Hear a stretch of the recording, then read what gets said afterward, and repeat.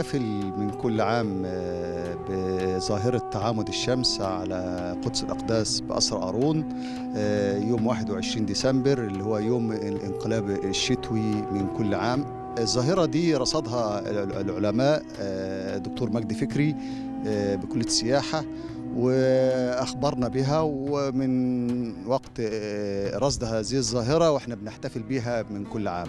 قدس الأقداس ده مكون من ثلاث مقاصير.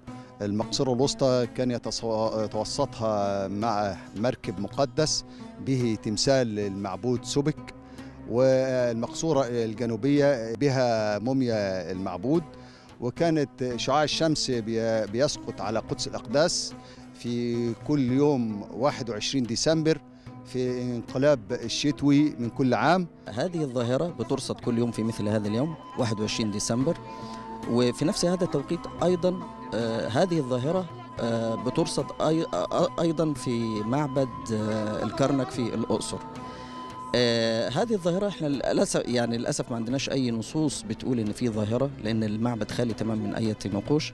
ولكن آه، بعض الدارسين رصدوا هذه الظاهرة وتشكلت لجنة من وزارة الآثار وفعلا رصدت هذه الظاهرة فأصبح من أوائل الألفية الثالثة بقى في احتفال سنوي كل سنة يوم 21 ديسمبر وكان المصري القديم كان بيقصد بيها بداية فصل الشتاء اللي هو فصل الإنبات بالنسبة للمصري القديم فكان مهم بالنسبة له. بداية الحدث آه، ده كان في 2011 وإحنا بنحتفل بتعامد الشمس.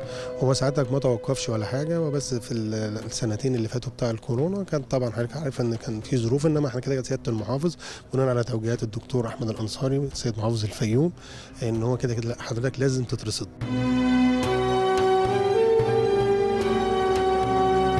طبعا النهارده يوم تاريخي آه، عند ظاهرة طبيعية جميلة ظاهرة فرعونية. نفس اليوم حصل إن آه، نفس اليوم دي ده برضو تعامد الشمس على قصر قارون وتعامد برضو الشمس على معبد أبو سمبل يوم 21 ديسمبر.